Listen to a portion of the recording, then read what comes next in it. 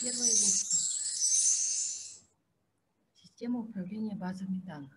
Оглавление. Основные понятия базы данных. Определение СУБД, ее классификация.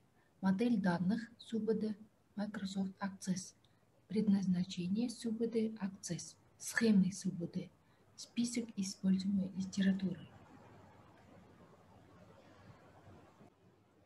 Основные понятия базы данных и СУБД – Всякая прикладная программа является отображением какой-то части реального мира и поэтому содержит его описание в виде данных. Крупные массивы данных размещают, как правило, отдельно от исполняемой программы и организуют в виде базы данных. База данных – это совокупность предназначенных для машинной обработки данных, которая служит для удовлетворения нужд большого количества пользователей. База данных – поименованная целостная единая система данных, организованная по определенным правилам, которые предусматривают общие принципы описания, хранения и обработки данных. Система управления базами данных – комплекс языковых и программных средств, предназначенный для создания, ведения и совместного использования базы данных многими пользователями. База знаний – это формализованная система сведений о некоторой предметной области, содержащая данные о свойствах объектов, закономерностях процессов и явлений и правил использования в задаваемых ситуациях этих данных для принятия новых решений. Автоматизированный банк данных – это организационно-техническая система, представляющая собой совокупность базы данных пользователей технических и программных средств формирования и ведения этих баз и персонала, обеспечивающих функционирование системы.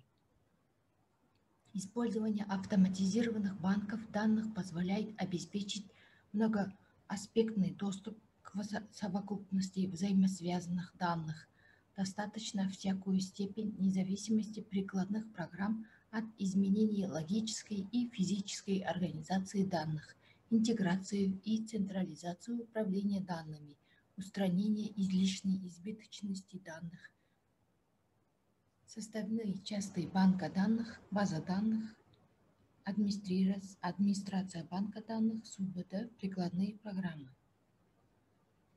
Классификация базы данных централизованная база данных, сетевая централизованная база данных, сетевая распределенная база данных,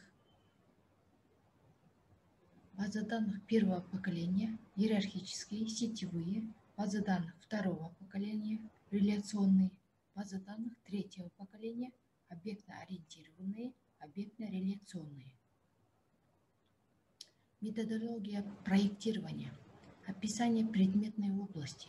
Предметная область – совокупность объектов, их свойств и взаимосвязей, которые представляют определенную ценность для пользователя и должны фиксироваться в базе данных.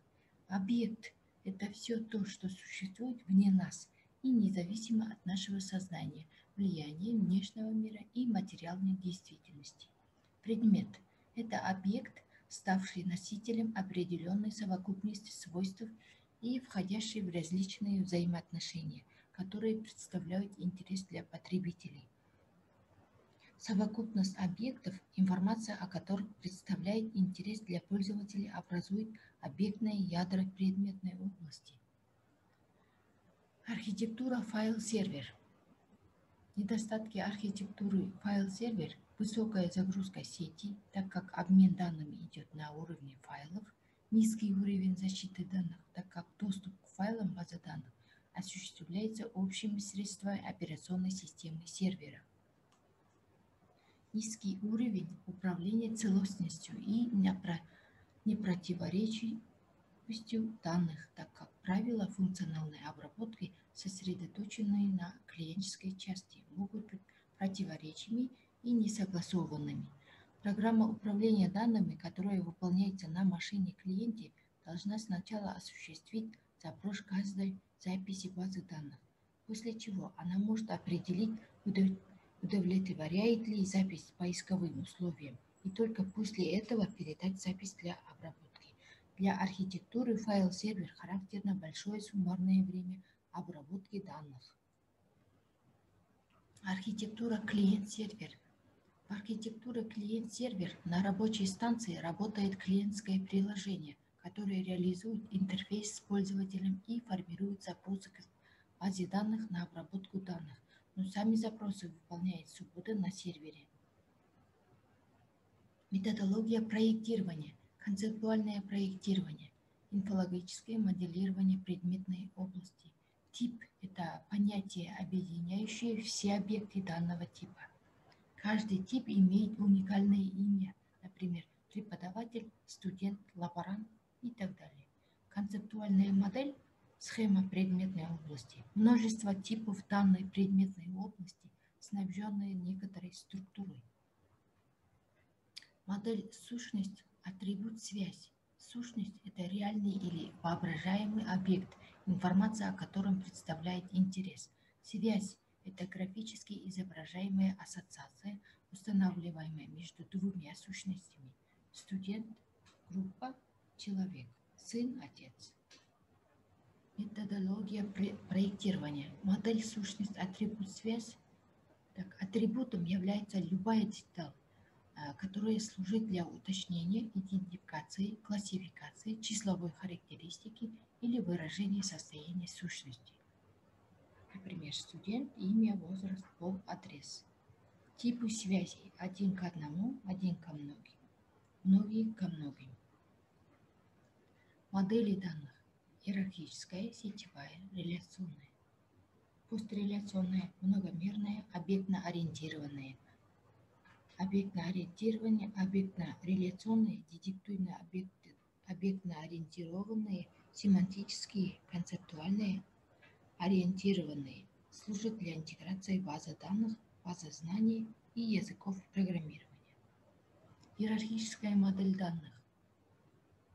Иерархическая модель представляет в виде древовидного графа, в котором объекты выделяются по уровням подчиненности иерархии объектов. Основное правило – никакой потомок не может существовать без своего родителя. Пример иерархической базы данных. Сетевая модель базы данных типичным представителем систем, основанных на сетевой модели данных, является Subuntu IDMC – разработанная компанией Kulinet Software. Сетевая модель базы данных для подставленной задачи представлена в виде диаграммы связей. Сетевая база данных состоит из набора записей и набора связей между этими записями. Пример сетевой базы данных. Деталь, материал, операция, норма на деталь, Манипулирование данных в сетевой базе данных. Найти конкретную запись в наборе однотипных записей, перейти от предка к первому потомку по некоторой связи, перейти к следующему потомку в некоторой связи, перейти от потомка к предку по некоторой связи, например, найти отдел, в котором работает титров, создать новую запись, э, уничтожить запись, модифицировать запись, включить в связь, исключить из связи, переставить другую связь. Реляционная модель. К отечественным субботы реляционного типа относятся системы Пальма, а также система MIFI. В реляционной модели базы данных взаимосвязи между элементами данных представляются в виде двухмерных таблиц, называемых отношениями. Отношения обладают следующими свойствами – Каждый элемент таблицы представляет собой один элемент данных. Элементы столбца имеют одинаковую природу, и столбцов однозначно присвоены имена. В таблице нет двух одинаковых строк. Строки и столбцы могут просматриваться в любом порядке, вне зависимости от них информационного содержания. Пример реляционной базы данных. Номер поставщика, фамилия, рейтинг, город в виде таблицы – Операция реляционной модели данных дают возможность произвольно манипулировать отношениями, позволяя обновлять базы данных, а также выбирать под множество хранимых данных и представлять их в нужном виде. Достоинства и недостатки иерархической, сетевой и реляционной модели.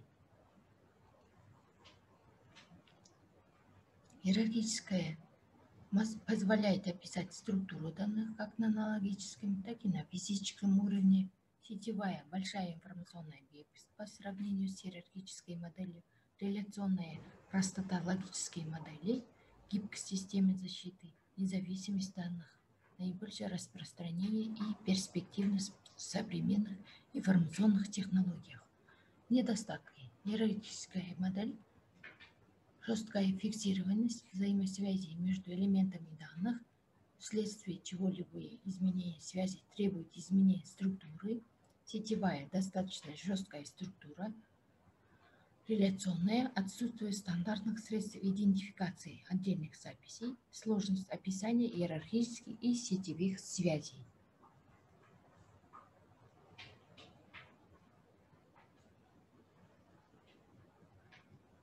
Классификация СУБД. СУБД. Однопользовательская СУБД. Бывает многопользовательская СУБД. С последственным доступом, с параллельным доступом. Централизованная, распределенная. В целом, ранные системы можно охарактеризировать следующим образом. Эту систему активно использовать в течение многих лет – задолго до появления работоспособных реляционных СУБД. Все ранние системы не основывались на каких-либо абстрактных моделях.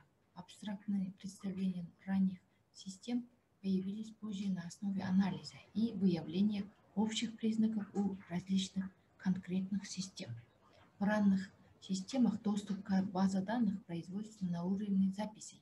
Интерактивный доступ к базе данных поддерживается только путем создания соответствующих прикладных программ с собственным интерфейсом.